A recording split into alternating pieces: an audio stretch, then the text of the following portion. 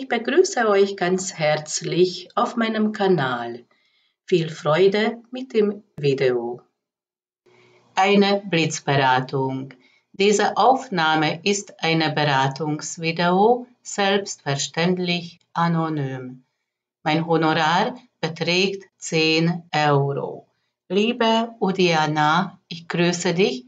Du möchtest wissen, was kommt Monat März auf dich zu und das schauen wir an bei dieser Legung.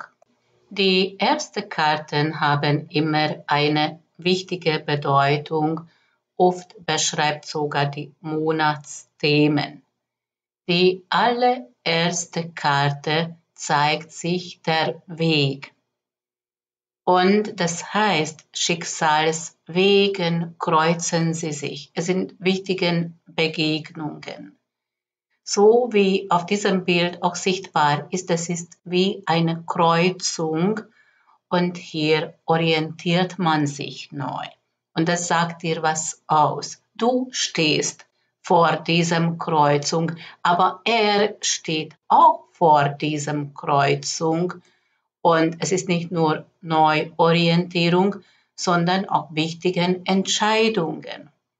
Diese männliche Hauptperson trifft auch Entscheidungen und sucht die Gespräche mit dir, weil neben ihm erscheinen die Vögel und das symbolisiert persönlichen Gesprächen.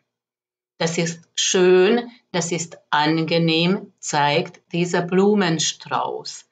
Das kann auch eine Einladung sein, eine Überraschung oder ein Geschenk. Dieser Blumenstrauß bedeutet aber Monat Mai. Es kann sein, dass er bei diesem Kreuzung ist, dass er sich neu orientiert, aber erst Monat Mai sucht die Gespräch mit dir.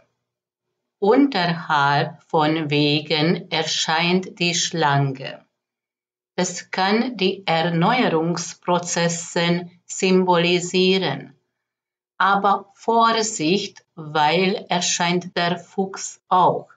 Sei achtsam, welche Richtung schaust du, welche Entscheidungen triffst in die nächste Zeit. Diese Schlange kann aber auch eine Frau sein. Das ist gar nicht direkt mit dir verbunden, sondern mit ihm verbunden. Aber da liegt die Falschheit, die Lügen, die Intrigen, zeigt dieser Fuchs. Er verdrängt das alles. Und unterhalb von Fuchs und unterhalb von Schlange liegen die Schwierigkeiten und Einschränkungen.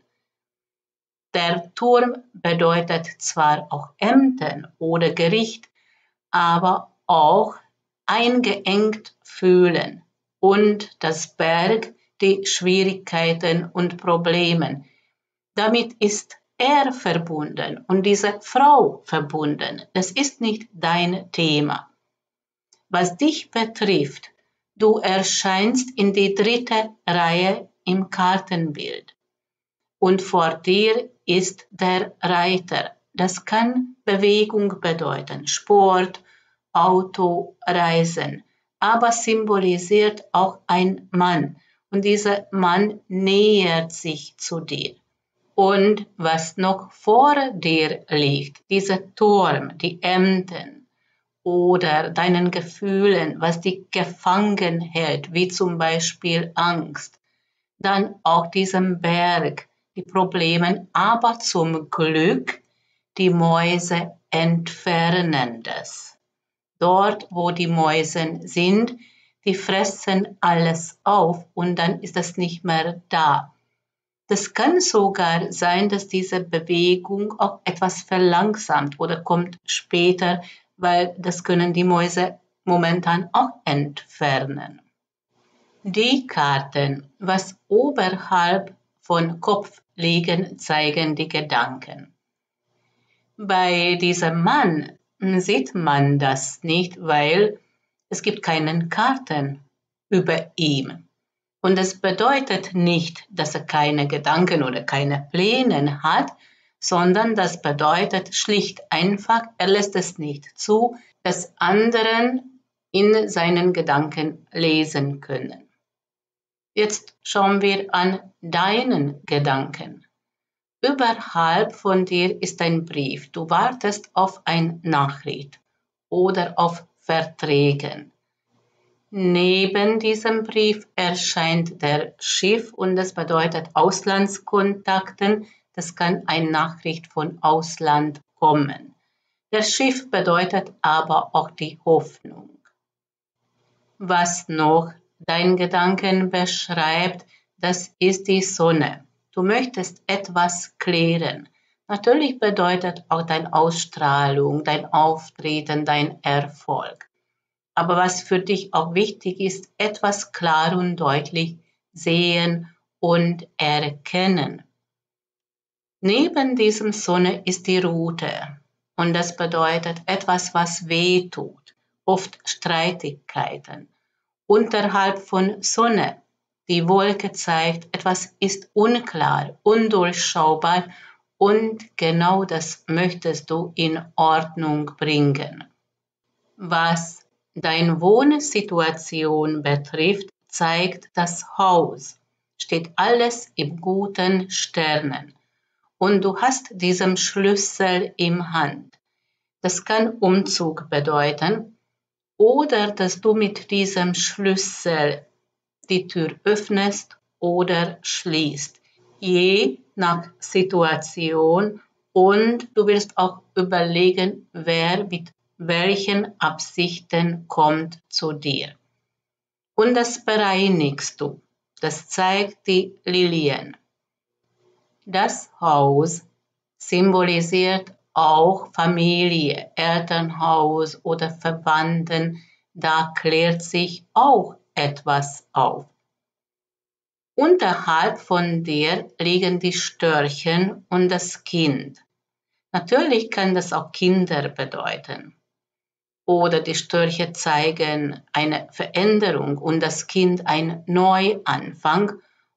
Und das erlebst du in die Liebe, weil das Herz ist auch da und in Freundeskreis, Bekanntenkreis zeigt dieses Hund.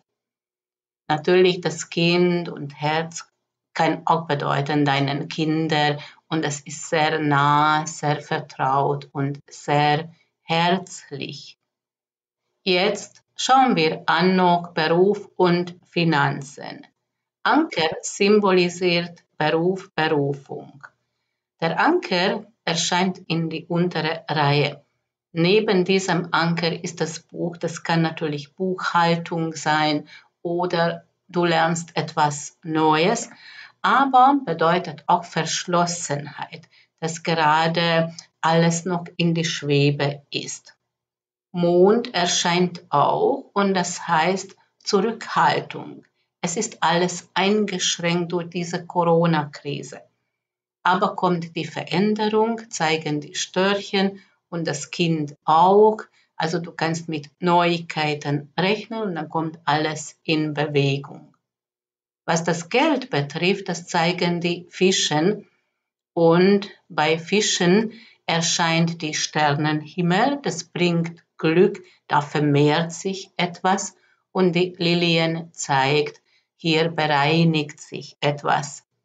Unterhalb von Fischen erscheint der Sarg, Natürlich kann das eine erbschaftliche Situation auch sein, aber bedeutet auch, wenn alles stillgelegt ist, wenn keine Bewegung da ist.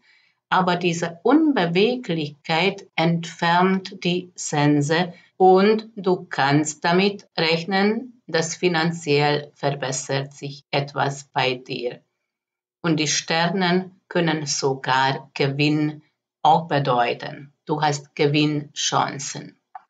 Und jetzt schauen wir an die einzelnen Wochen. Erste Woche, Monat März zeigen die Karten in die erste Reihe. Der Weg zeigt wichtigen Begegnungen, Neuorientierung und Entscheidungen. Nicht nur du triffst diese Entscheidung, sondern er auch. Bald sucht die Kontakt zu dir, sucht die Gespräche. Das kann zwar bis Monat Mai dauern, aber das, was dich in die Zukunft erwartet, etwas klärt sich auf und alte Verletzungen wirst du beenden. Du suchst deinen Platz im Leben, zeigt diesem Baum. Auch die Öffentlichkeit, was dieser Park symbolisiert, weil das gibt dir Kraft, zeigt dieses Bär.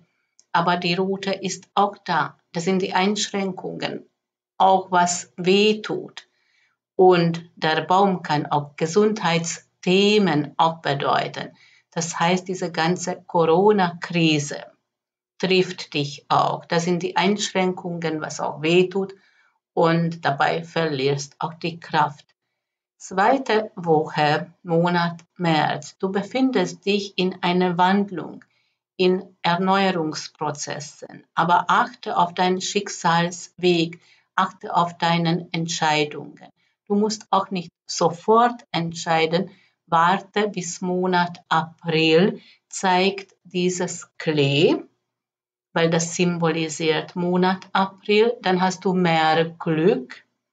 Im Augenblick ist alles bewölkt, und durchschaubar, sei noch etwas geduldig.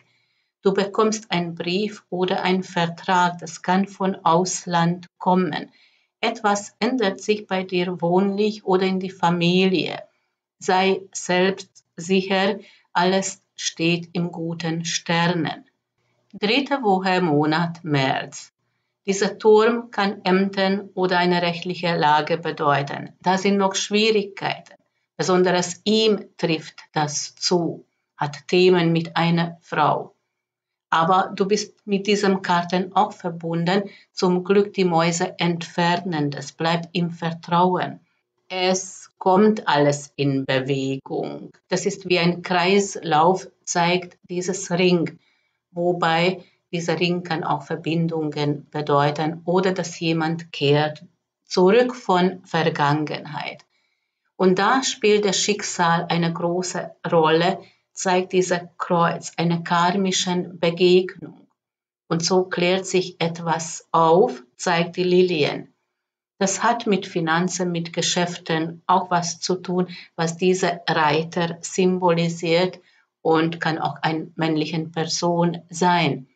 Aber wenn um die Liebe handelt, um Seelenpartnerschaft handelt, dann bedeuten die Fischen die inneren Werten. Und das ist eine tiefe Liebe. Letzte Woche, Monat April. Etwas ist noch im Verborgenen, zeigt dieses Buch und das hat mit deinem Beruf, Berufung was zu tun sei geduldig, du empfängst etwas und dann kommt eine Veränderung, zeigen die Störchen und mit diesen Neuigkeiten kannst du rechnen, zeigt das Mädchen. Zurück zu diesem Buch, das kann auch Buchhaltung sein, hat auch mit deinem Geschäft was zu tun oder dass du lernst etwas. Diese Veränderung trifft dich nicht nur beruflich, sondern mit diesen Neuigkeiten kannst du in die Liebe auch rechnen. Das Herz ist auch da und in Freundeskreis, Bekanntenkreis.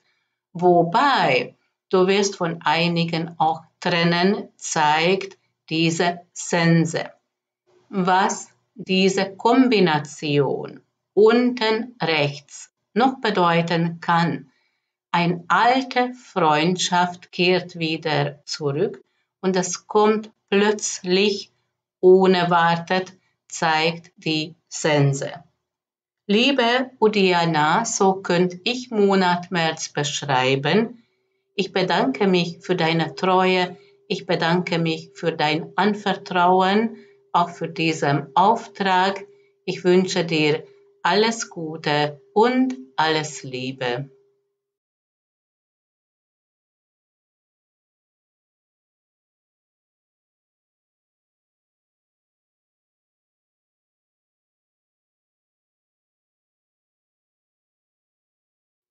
Und das war diese Aufnahme. Wenn es euch gefallen hat, ich freue mich, wenn ihr mich abonniert. Bis zum nächsten Mal, eure Dendera Susanna Medici.